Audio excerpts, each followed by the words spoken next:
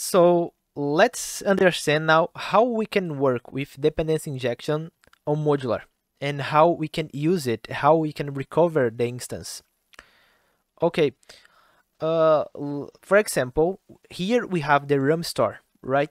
And we are telling to the modular, hey module, create only one instance of this, the RUM store, one instance, because we are using the singleton here on the bind, right? This bind are singleton.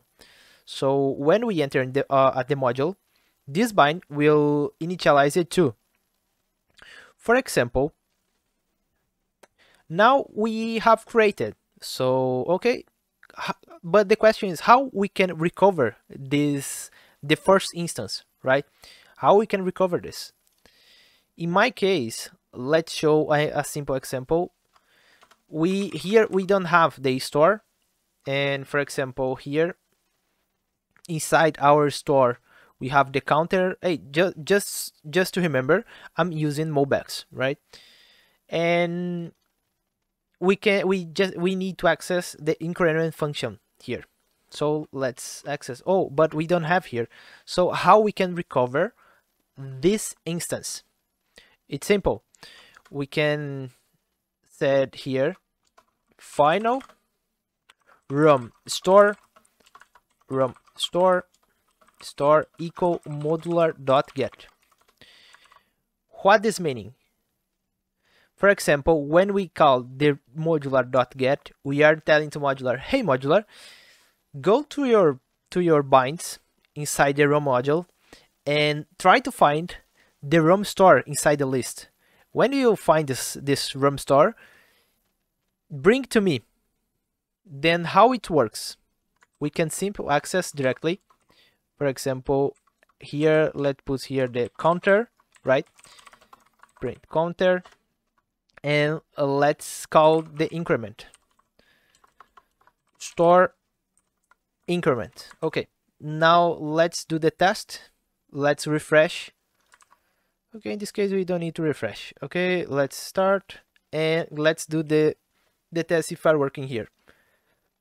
Okay it's working we can access we can recover the the first uh, initialize of our rum store and it's work right? Now let's see some errors that we can do here. For example let's forget to initialize this instance. And let's refresh and check oh rum store not found. What does mean? This mean that the modular uh, can find this the rum store modular can find this rum store inside the bind right? So when we go bring again we create again we just need to refresh and should work now. Yeah it's working without any problem. Okay? Perfect.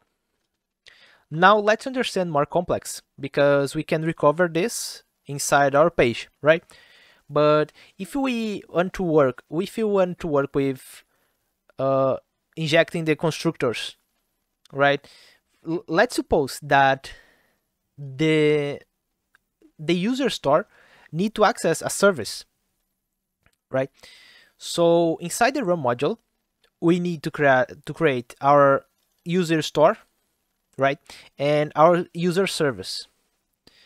Okay, let's go to the page first let's see here. Okay yeah. Yeah we are in the page. Now let's change the page to the user page and to the user store. We can close this and we need to open this. Okay now for example let's suppose we don't have this at this time. And let's suppose we don't have this too let's remove this from here. Okay but oh yes this need to be a final okay no problem.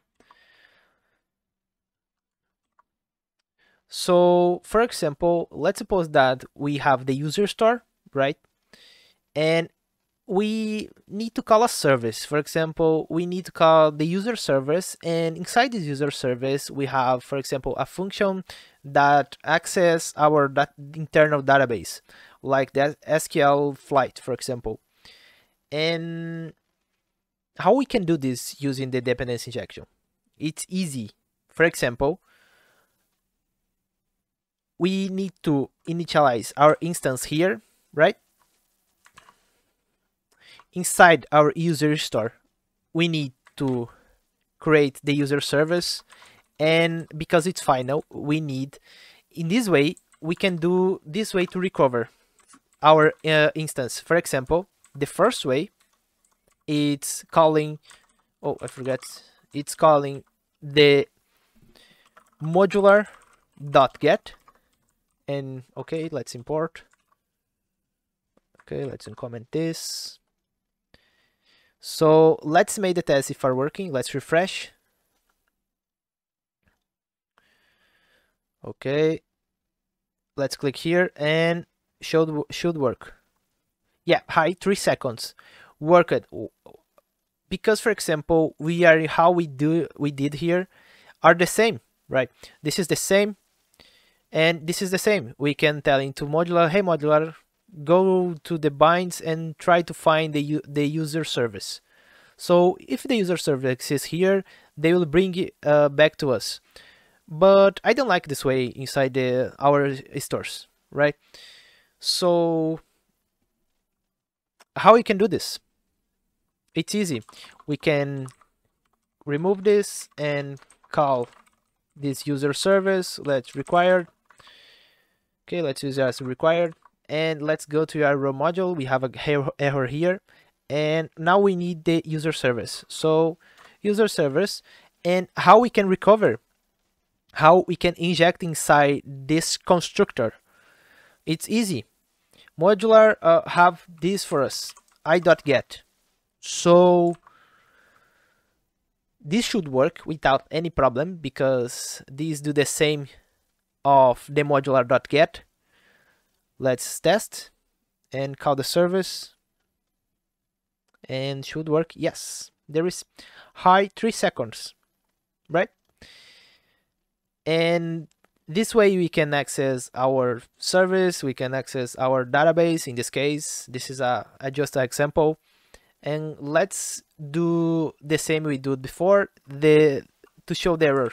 Let's let's suppose that we forget this. So let's refresh again okay and yeah we get the problem.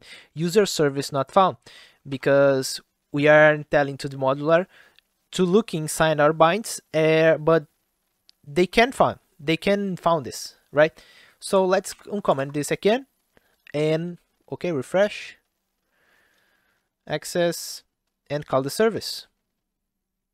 Three seconds and there is.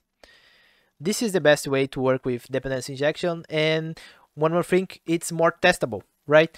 When we when we write tests using the modular it's more easy to use this way. So thanks for watching